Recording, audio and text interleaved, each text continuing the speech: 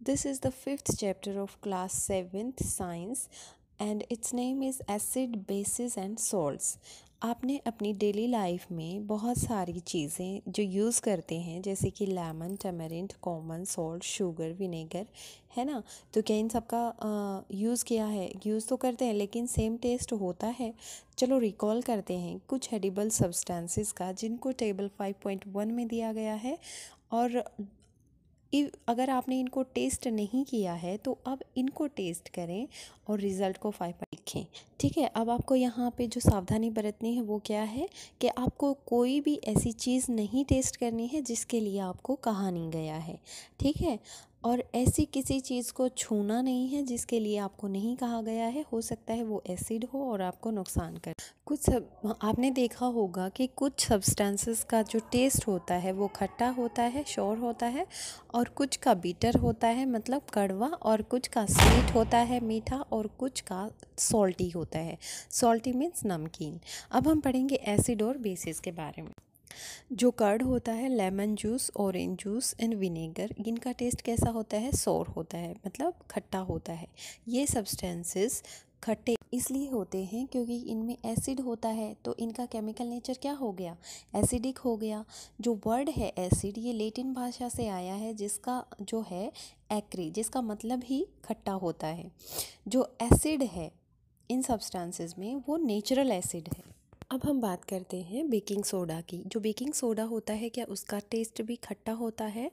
यदि नहीं तो इसका टेस्ट कैसा होता है? इसका जो टेस्ट होता है वो सोर नहीं होता, खट्टा नहीं होता। इसका मतलब ये है कि इसमें कोई एसिड तो है ही नहीं। ये खट्टा नहीं होता, ये कड़वा होता है बीटर होता है टेस्ट में।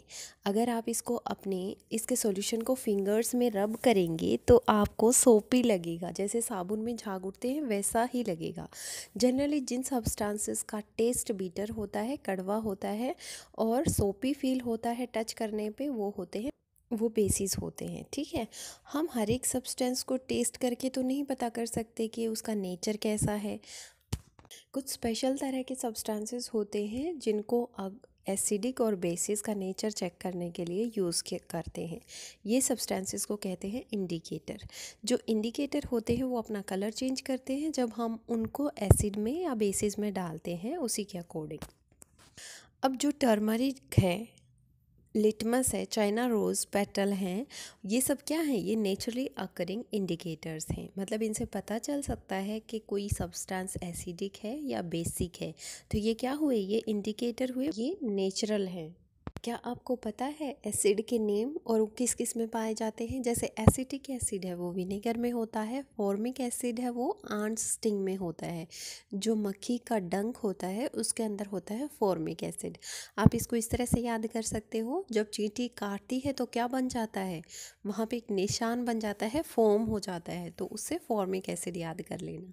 सिट्रिक एसिड जो होता है, सिट्रस फ्रूट्स में होता है, जैसे कि ऑरेंजेस में, लेमन्स में और लैक्टिक एसिड होता है कर्ड में, ये तो सबको पता ही है। ऑक्जेलिक एसिड स्पाइनेक में इसको लर्न करना पड़ेगा।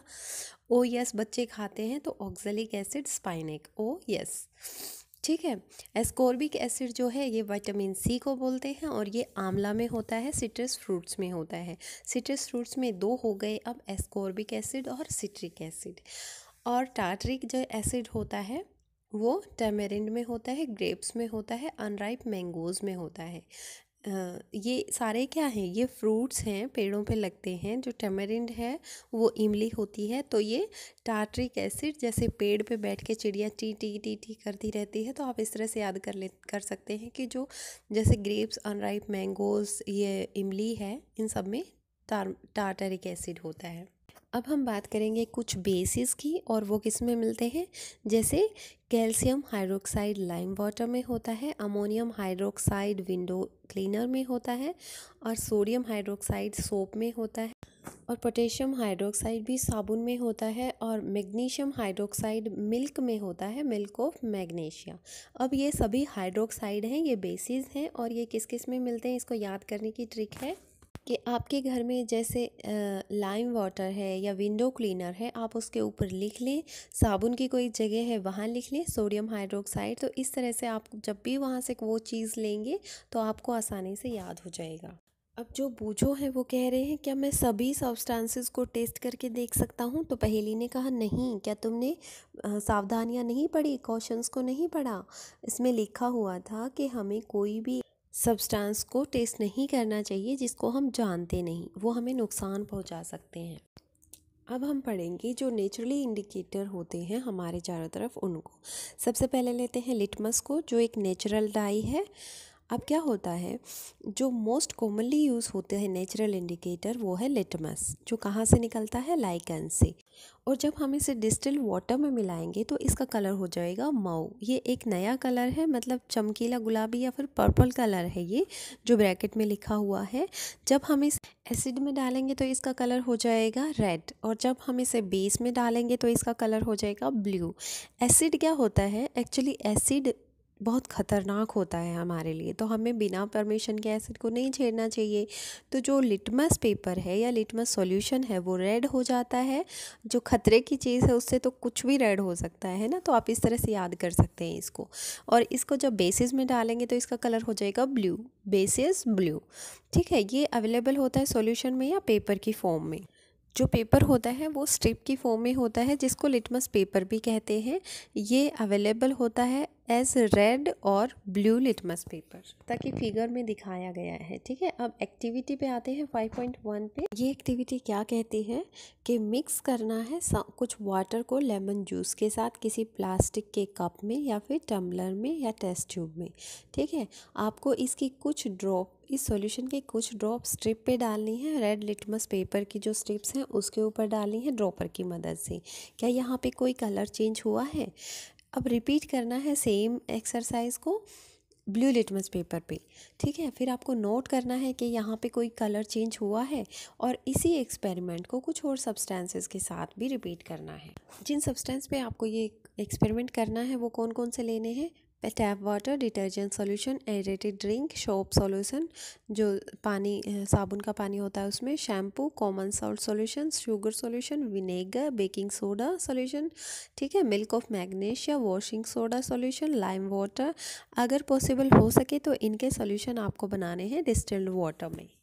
अब आपको इनके रिज़ल्ट को रिकॉर्ड करना है ऑब्जर्वेशन को रिकॉर्ड करना है। आप अपनी टेबल में ऐसे सब्सटेंस भी देखेंगे जिन पे कोई इफ़ेक्ट ही नहीं है, जिनका कोई इफ़ेक्ट नहीं आया रेड और ब्लू लिटमस पेपर पे, उन सब्सटेंसेस का नाम लिखना है। ऐसे सब्सटेंस को कहते हैं न्यूट्रल सब्सटेंसेस ऐसे सब्सटेंस ना एसिडिक होते हैं और ना बेसिक होते हैं। अब हम दूसरे नेचुरल इंडिकेटर की बात करेंगे, जो है टर्मरिक हमें क्या करना है? एक्टिविटी 5.2 में एक चम्मच टर्मरिक पाउडर लेके उसमें थोड़ा सा पानी डाल के पेस्ट बनाना है। अब इस टर्मरिक पेपर टर्मरिक पेपर बनाने के लिए आपको ब्लॉटिंग पेपर या फ़िल्टर पेपर पे इस पेस्ट को डालना है या इसको, इसके ऊपर लगाना है, फिर उसको ड्राई करना है। फिर इस पेपर को, जो येलो पेपर हमें मिल गया, उसको स्ट्रिप में कट करना है, फिर उसके ऊपर सोप सॉल्यूशन डाल के देखना है कि उसका कलर चेंज हुआ है कि नहीं हुआ है।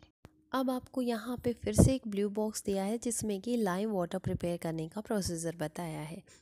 आपने कुछ थोड़ा सा पानी लेना है किसी टम्बलर में और उसमें लाइम मतलब चूना ऐड करना है, ठीक है? उसको थोड़ी देर के लिए हिलाना है, फिर उसको रख देना है कुछ टाइम के लिए और फिर ऊपर का जो पानी है उसमें, उसको निकाल लेना है, वो होता है लाइम वाटर यहाँ पे एक और ब्लू बॉक्स में दिया गया है कि आप इससे ग्रीटिंग कार्ड भी प्रिपेयर कर सकते हैं। आपको टर्मरिक पेस्ट को अप्लाई करना है एक प्लेन वाइट शीट पे और फिर उसके ऊपर फ्लावर ड्रॉ कर सकते हैं किससे? कॉटन बर्ड से। और वो सोल्यूशन क्या होगा फ्लावर प्रिपेयर करने के लिए? वो होगा साबुन का पानी। ठीक है, इससे आपको मिल जाएगा एक ब्यूटीफुल कार्ड। इसी तरह से आप टेस्ट टेस्ट कर सकते हैं सॉल्यूशंस को जो कि टेबल 5.3 में दिए गए हैं। और आप इनकी ऑब्जर्वेशन को नोट कर सकते हैं। आप कुछ सॉल्यूशन खुद भी बना सकते हैं और उन पे सेम एक्सपेरिमेंट कर सक, कर सकते हैं। अब बूझो कहते हैं कि अब मुझे समझ में आया कि किस तरह से हल्दी के जो स्टेन होते हैं वाइट शर्ट पे लग जाते हैं, वो रेड हो जाते हैं, जब उसको साबुन से धोया जाता है। ये इसलिए होता है क्योंकि जो सोप सॉल्यूशन है वो बेसिक है नेचर में, उसका नेचर है बेसिक होता है। अब हम यहाँ पे एक्टिविटी 5.3 देखेंगे, जिसमें कि जो चाइना रोज़ है, जिसको गुड़हल भी बोलते हैं, उनके पेटल्स को लेके फ्लावर लीव्स को लेके एक बीकर में डाल देंगे। उसमें से, उसमें कुछ गर्म पानी भी डाल देंगे। अब इस मिक्सचर को थोड़े टाइम के लिए रख देंगे, जब तक कि इसका कलर नहीं आ जाता है। ठीक है? अब क्या करेंगे? जो कलर्ड वाटर है, उसको हम इंडिकेटर की तरह यूज़ करेंगे। अब फाइव ड्रॉप्स इंडिकेटर डालेंगे किसमें जो सॉल्यूशन टेबल 5.4 में दिए गए हैं, जैसे शैम्पू है लेमन जूस है सोडा वाटर है। इन सभी में डाल के हम देखेंगे और हम देखेंगे कि इफ़ेक्ट क्या है इंडिकेटर का एसिड बेसिक और न्यूट्रल सॉल्यूशन पे। चाइना रोज़ इंडिकेटर है जो टर्न कर देती है एसिड जो सॉल्यूशन होंगे उनको मैजेंटा में मतलब डार्क पिंक में, और जो बेसिक सॉल्यूशन होंगे उनको ग्रीन में। बुझो कहते हैं कि मुझे ऐसे रिज़ल्ट नहीं मिलते हैं मतलब सेम रिज़ल्ट नहीं मिलते हैं जब मैं बेकिंग सोडा को ड्राई लिटमस पेपर पे यूज़ करता हूँ। क्यों? तो पहले ने बताया कि सॉल्यूशन बनाओ बेकिंग सोडा का और फिर उसे ड्राई होने दो। अब पहली, आपके लिए एक पहली लेकर आई है मतलब रिडल लेके आई है, जिसमें कॉफ़ी है जो वो ब्राउन कलर की है बिटर टेस्ट में होती है, ठीक है? ये एसिड है या बेस है, आपको ये बताना है। लेकिन आंसर नहीं देना बिना किसी टेस्ट के तो आप इस तरह से अंधेरे में हो गए हो, क्योंकि आपने इसको इसका टेस्ट तो आपको पता ही है। बीटा टेस्ट किसका होता है, उससे कंक्लूड नहीं करना है आपको। एक्टिविटी है टीचर को रिक्वेस्ट की गई है कि वो फॉलोइंग केमिकल्स जो हैं, वो अपने स्कूल लेबोरेटरी से या नियर बाय स्कूल से लेके आएँ, जैसे hydrochloric acid sulphuric acid nitric acid acetic acid sodium hydroxide ammonium hydroxide calcium hydroxide मतलब लाइम वाटर ठीक है? वो ये अरेंज कर। जो कॉशंस है, जो सावधानी है, वो हमें ये बरतनी है कि बहुत ज़्यादा केयर की ज़रूरत है जब हम हैंडल करेंगे किन को। लेबोरेटरी एसिड या बेसिस कोई भी है, क्योंकि ये बहुत ज़्यादा कोरोसिव नेचर के होते हैं और इरिटेटिंग होते हैं हार्मफुल होते हैं हमारी स्किन के लिए। इसलिए ध्यान से केयर से हैंडल करना है। क्या आप फेमिलियर हो? एसिड रेन एक टर्म है उससे। आपने कभी सुना है एसिड रेन क्या होती है? ठीक है, ये कितना डैमेजिंग इफ़ेक्ट होता है। एसिड रेन का, ये पता है आपको? जैसे कि इसका नाम से पता चल रहा है, ये रेन है, ये बारिश है, जिसमें एक्सेस होते हैं। किसकी? एसिड्स की एक्सेस होती है। बहुत ज़्यादा अमाउंट में एसिड होते हैं। ये क्या होता है एक्चुअल में? कहाँ से आते हैं ये एसिड? ठीक है तो जो रेन होती है, एसिड की वजह से, जो एसिड जैसे कार्बन डाइऑक्साइड है, सल्फ़र डाइऑक्साइड है, नाइट्रोजन डाइऑक्साइड है, सी एस एन आप याद कर सकते हैं, सबके पीछे डाइऑक्साइड लगा है। सी से कार्बन एस से सल्फ़र एन से नाइट्रोजन ठीक है, ये पोल्यूटेंट की तरह एयर में रिलीज़ होते हैं और फिर पानी के साथ, जो बारिश का पानी है उसके साथ ड्रॉप हो जाते हैं कार्बोनिक एसिड बनाते हैं सल्फ्यूरिक एसिड बनाते हैं नाइट्रिक एसिड बनाते हैं, ठीक है? अगर कार्बन डाइऑक्साइड पानी में मिक्स हो जाएगा तो कार्बोनिक एसिड सल्फ़र डाइऑक्साइड अगर पानी में मिक्स हो जाएगा तो सल्फ्यूरिक एसिड नाइट्रोजन डाइऑक्साइड अगर पानी में मिक्स हो जाएगा तो नाइट्रिक एसिड बन जाएगा. ये एसिड डैमेज करता है किस किस को? सभी चीज़ों को, जैसे बिल्डिंग को, जो स्मारक होते हैं उनको प्लांट्स को एनिमल्स को, हर चीज़ को ये डैमेज करते हैं, इसलिए ये एसिड रेन आपके लिए जानना बहुत ज़रूरी है। ये थी हमारी इम्पोर्टेंट इन्फॉर्मेशन जो यहाँ पे दी गई थी। अब एक्टिविटी जो थी यहाँ पे 5.4 मैम ने वो एसिड्स जो बेसिक्स और एसिड्स हैं, वो कलेक्ट करे हैं, लेकिन उनको करना क्या है आपने? थ्री इंडिकेटर्स दिए गए हैं टेबल में और इन सॉल्यूशंस के साथ आपको अपनी ऑब्जर्वेशन रिकॉर्ड करनी है क्या क्या इफ़ेक्ट आता है। जैसे लिटमस पेपर का टर्मरिक पेपर का और चाइना रोज़ सोल्यूशन जो हमने बताया था, उसका क्या इफ़ेक्ट आएगा? बात करते हैं न्यूट्रलाइजेशन की।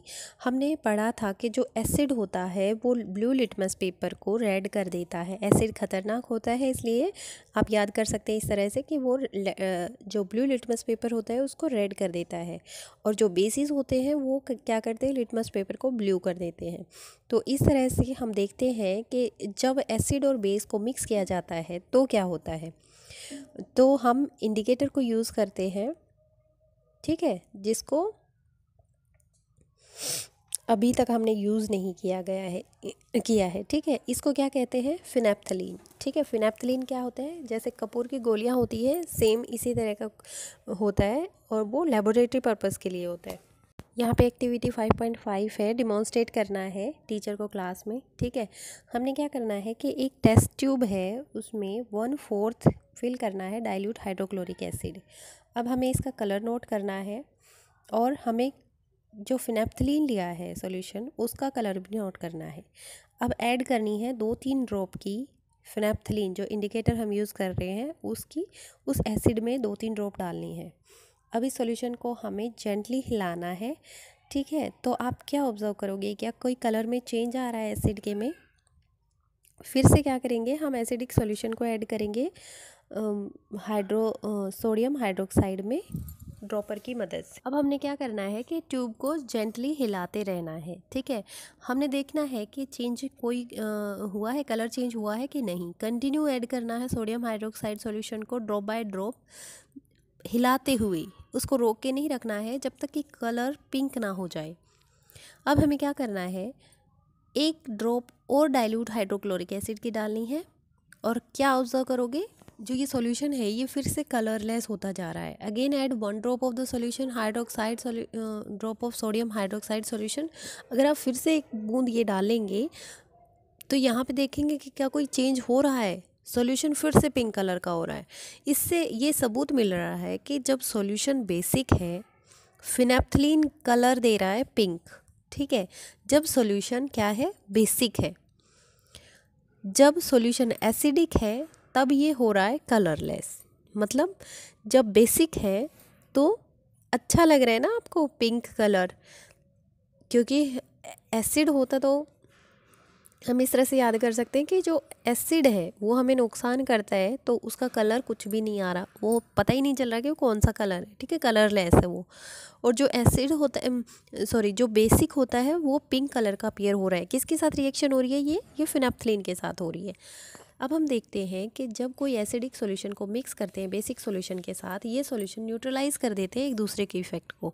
मतलब कैंसिल कर देते हैं एक दूसरे के इफ़ेक्ट अब क्या होता है, जब एसिड सॉल्यूशन को बेस सॉल्यूशन के साथ मिक्स करते हैं तो मतलब सुटेबल अमाउंट होना चाहिए दोनों का।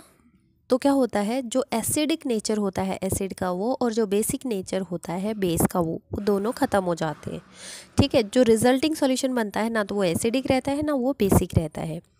अब क्या होता है, अब जब आप इस तरह से एसिड और बेस को मिलाएँगे किसी भी टेस्ट ट्यूब में तो उसको टच करके देखना इमीडिएटली आफ्टर न्यूट्रलाइजेशन जैसे ही न्यूट्रलाइजेशन हो जाती है मतलब उनका इफ़ेक्ट कैंसिल आउट हो जाता है, तब आप टच करके देखना, आपको क्या ऑब्ज़र्व करोगे? कि जो न्यूट्रलाइजेशन रिएक्शन है, उसमें से हीट निकल रही है। ठीक है? प्रोड्यूस हो रही है। जो ये हीट निकल रही है, इससे टेम्परेचर इंक्रीज़ हो रहा है, बढ़ रहा है रिएक्शन मिक्सचर का। जो न्यूट्रलाइजेशन रिएक्शन है, उसमें एक और सब्सटेंस बनता है, जिसको कहते हैं सॉल्ट मतलब नमक। ठीक है? ये एसिडिक भी हो सकता है बेसिक भी हो सकता है और न्यूट्रल भी हो सकता है नेचर में। इसलिए न्यूट्रलाइजेशन रिएक्शन को इस तरह से डिफाइन कर सकते हैं। The reaction between acid and base is known as neutralisation salt and water are produced in this process with the evolution of heat क्या क्या बनता है उसमें? सॉल्ट एंड वाटर ये रिएक्शन दिखाई गई है, यहाँ पे एक एसिड है या और दूसरा बेस है। तो इसमें क्या बनेगा? सोडियम क्लोराइड और वाटर हीट तो निकलती ही है। अब बूझो ने ऐड किया है यहाँ पे कि जो डाइल्यूट सल्फ्यूरिक एसिड है उसको अगर लाइम वाटर में ऐड करें तो क्या रिएक्शन मिक्सचर हॉट होगा या फिर कूल होगा? जो न्यूट्रलाइजेशन है वो आ, मतलब एवरीडे लाइफ में किस तरह से होती है? इसका एक एग्जांपल है इनडाइजेशन जो हमारे पेट में हाइड्रोक्लोरिक एसिड प्रोड्यूस होता है उससे खाना पचता है। जैसे हमने चैप्टर सेकंड में किया था अगर ये एसिड हद से ज़्यादा होना, बनना शुरू हो जाए तो इससे इनडाइजेशन शुरू हो जाएगा। कभी कभी क्या होता है, ये इनडाइजेशन बहुत पेनफुल होता है। तो हमें इनडाइजेशन से रिलीव पाने के लिए एंटी एसिड लेते हैं, जैसे मिल्क ऑफ़ मैग्नीशिया जिसमें क्या होता है मैग्नीशियम हाइड्रोक्साइड होता है, जो उस एक्सेसिव एसिड का न्यूट्रलाइजेशन करने में हेल्प करेगा। वो एसिड कौन सा होता है? हाइड्रोक्लोरिक एसिड जो हमारे पेट ने प्रोड्यूस किया है, हमारी टमी ने प्रोड्यूस किया है, उसके लिए हम मिल्क ऑफ़ मैग्नीशिया लेते हैं, जिसकी वजह से उसका इफ़ेक्ट न्यूट्रलाइज हो जाता है। अब हम करते हैं आंट बाइट की। जब हमें मक्खी काट लेती है, तब क्या होता है? जब हमें कोई मक्खी काटती है तो ये एसिडिक लिक्विड इंजेक्ट करती है, जो फॉर्मिक एसिड होता है एक्चुअल में, हमारी स्किन में वो इंजेक्ट कर देती है। तो ये एसिड क्या करता है? हमारा इरिटेशन शुरू कर देता है। वहाँ पे। जलन और दर्द शुरू कर देता है। इस इफ़ेक्ट को न्यूट्रलाइज करने के लिए मॉइस्ट बेकिंग सोडा जो होता है सोडियम हाइड्रोक्साइड हाइड्रोजन कार्बोनेट जो होता है, उसको रब करते हैं। उसको मॉइस्ट करके, गीला करके। और कैलामाइन सॉल्यूशन को भी रब कर सकते हैं, जिससे, जिसमें जिंक कार्बोनेट होता है। तो ये उसके न्यूट्रलाइजेशन में हेल्प करते हैं। उसके इफ़ेक्ट को नील कर देते हैं। सॉइल ट्रीटमेंट कैसे होता है? जो ये एवरीडे लाइफ है न्यूट्रलाइजेशन के वो हम डिस्कस कर रहे हैं। सॉइल ट्रीटमेंट में क्या होता है? जब एक्सेसिव यूज़ करते हैं केमिकल फर्टिलाइजर्स का सॉइल एसिडिक हो जाती है तो प्लांट उसमें ग्रो नहीं कर पाते। जब भी कोई सॉइल एसिडिक होती है या बेसिक होती है हद से ज़्यादा तो क्या क्या होता है? उसको बहुत नुकसान होता है। ठीक है? नुकसान कैसे हो सकता है कि, कि उसमें कोई प्लांट ग्रो नहीं करेगा। अगर एसिडिक है तो हम उसे लाइम से जो क्विक लाइम है कैल्शियम ऑक्साइड है, उससे या फिर सेलेक्ट लाइम से कैल्शियम हाइड्रोक्साइड से ट्रीट करेंगे। अगर बेसिक है तो हम उसमें ऑर्गेनिक मैटर ऐड कर देंगे ताकि वो जो एसिड है उसका वो बेसिक नेचर को न्यूट्रलाइज कर दे। अगर एसिडिक है तो हम उसमें लाइम यूज़ करते हैं क्विक लाइम या फिर सेलेक्ट लाइम और अगर बेसिक है हमारी सॉइल या हमारी सॉइल का जो नेचर है वो बेसिक है तो हम उसमें क्या करते हैं? ऑर्गेनिक मैटर ऐड करते हैं। अब जो फैक्ट्री वे जो फैक्ट्री वेस्ट है, उसमें क्या होता है? एसिड होता है बहुत ज़्यादा। वो फैक्ट्रीज़ क्या करती हैं? अपने वेस्ट को वाटर बॉडीज़ में, जैसे लेक्स वगैरह में डाल देते हैं तो ये एसिड क्या करते हैं? वहाँ की फिशेज़ को या अदर ऑर्गेनिज़म्स जो है, उनको नुकसान पहुँचाते हैं, मार देते हैं। तो फैक्ट्री वेस्ट को न्यूट्रलाइज करने के लिए उसमें हम बेसिक सब्सटेंसेस डालते हैं। अब बात करते हैं कीवर्ड्स की। कीवर्ड्स में acid acidic base basics indicator neutral neutralisation और सॉल्ट ये सब हमने पढ़ लिया है। अगर फिर भी आपको कोई कन्फ्यूज़न है तो कमेंट विंडो में जाके कमेंट करें। यहाँ पे जो एसिड है, वो सोर होते हैं टेस्ट टेस्ट में और जो बेसिस होते हैं, वो बीटर होते हैं, ठीक है? सोपी होते हैं टच करने पे। जो एसिड है, वो ब्लू लिटमस पेपर को रेड कर देता है और बेसिस क्या करते हैं? ब्लू कर देते हैं। जो ना तो एसिडिक होते हैं, कोई सब्सटेंस और ना बेसिक होते हैं, उनको न्यूट्रल बोलते हैं। जो सब्सटेंसेस का सॉल्यूशन होता है डिफरेंट कलर दिखाता है एसिड में बेसिक में या न्यूट्रल सॉल्यूशन में उनको इंडिकेटर कहते हैं। ठीक है? एसिड है और जो बेस है, वो न्यूट्रलाइज करते हैं एक दूसरे के इफ़ेक्ट को और सॉल्ट बनाते हैं। तो ये जो सॉल्ट बनता है, ये एसिडिक भी हो सकता है बेसिक भी होता, हो सकता है और न्यूट्रल भी हो सकता है। ये था हमारा फिफ्थ चैप्टर नेक्स्ट वीडियो में मैं सिक्स चैप्टर लेके आऊँगी। Thank you for watching science in simple steps